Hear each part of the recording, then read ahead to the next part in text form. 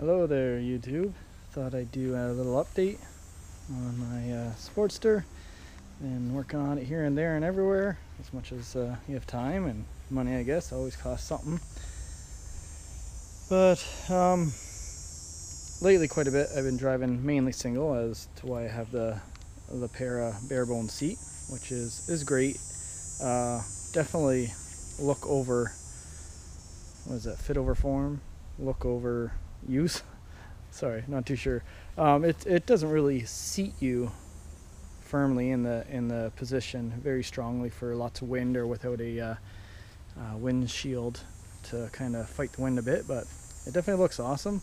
The other reason I have half kind of the sissy bar um, brackets on is because I've been doing some double riding lately, and in another couple weeks or another weekend, we're gonna go for a nice long cruise with my wife. So that's gonna stay on there. It's just a little easier than uh, to take that off. Uh, so in the meantime, it's staying.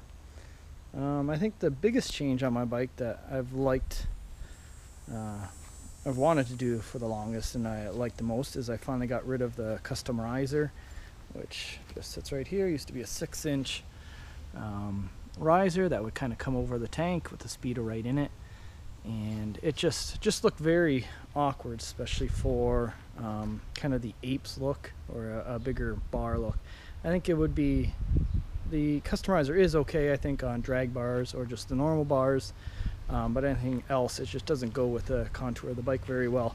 So I just love having the nice one and a half inch risers, just nice and slow or small, and I kind of fitted a Speedo old old Sporties Speedo housing and just kind of fab that all together. So that worked really nice, thanks to a local uh, bike shop, Simcoe, Ontario, where I'm from. So BS Customs, awesome guy to deal with. Um, and then yeah, the handlebars I said, those are the 12 inch Khrome Werks, which yeah, I really like. I like the position of them. At 12 inches, I'm not too sure if they're called minis anymore or if apes are 14 and plus. I'm not too sure, but so yeah, uh, like the bars and the position they have, and just I think it just adds to the look of the bike quite a bit. Uh, what else? Oh yes, the uh, 12 inch are still. It's my hands are still sitting lower than my shoulders, so for blood flow and that, it definitely helps. Makes riding a little easier, and it's yeah, doesn't hurt anyway. Um, I've also just recently did the whole uh, chrome hand controls uh, and the buttons and all that. I got a used pair off a guy, and so they were a lot of fun. Same with the braided cables. Um, just looks so much cleaner on the on the bike, I believe. Anyway, I'm not too sure about the grips. I might change out to my normal. I had a pair of blue Avon Coke bottles, which I thought were beautiful and unique, so I like them a lot. Uh, I don't have the throttle cables on. For some reason, the throttle cables were not long enough. They were like a quarter inch too tight. And so, yeah, I thought it was weird. I bought the used hand controls and braided cables and all that off a guy with a newer Softail. And for some reason, they were just so tight. About a good quarter inch, I would say, that they was too tight. So I've seen other people have suggested you can back off the idle mixture idle screw all the way, maybe to give you enough. I just didn't want to fool around with that at this point, um, just because I was just more concerned about getting the idle back to where it needs to be, as the Sportsters are air cooled, and I didn't want to run it too low of an RPM that is just choking out the motor and not lubing it enough. So that's why I haven't installed those yet.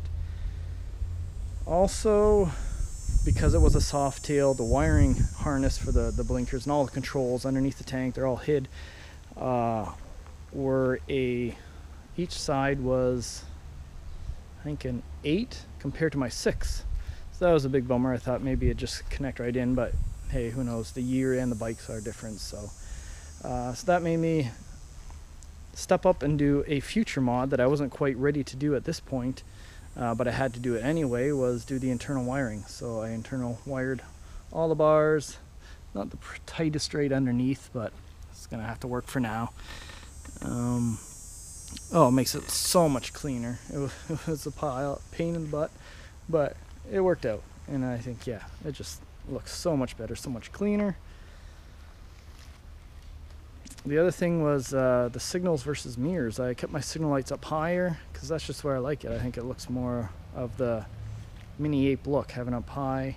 Um, so I left them up there. So right now, since it was a Softail that had no spot for signal lights up there, I used the mirror holder, the mirror er, little hole, I guess, where you put the mirrors on. So I just put the, the signals on there for now, and that's why I have this weird looking mirror on the ends. So that's definitely not staying. I've ordered a clamp to put on the handlebars for my mirror, mirror or mirrors, one or two.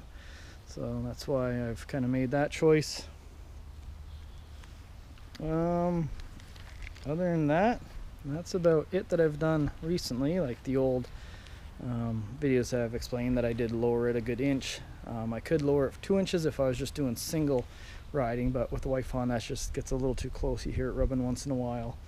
Um, I did the coil relocation, the ignition relocation is down with a nice little shotgun key. Um, I put my coil underneath the cowbell again, so I kept the chrome. It looks, I think, nice and clean. And I did raise the tank like an inch and maybe a good quarter, whatnot. So that's why you kind of see a nice gap, and I just, uh, just such a beautiful stance, I think, um, with the bigger 4.4, 4.5 gallon tank. Um, I did the wire tuck underneath. I already uh, stated, and I flattened the license plate, which I would like to get a better holder because it just uh, it looks kind of funky right now. so yeah, that's basically about it. And uh, yeah, maybe I'll take another uh, video of the exhaust. I might mod the baffles out in a future time. But that's it. Thanks for watching.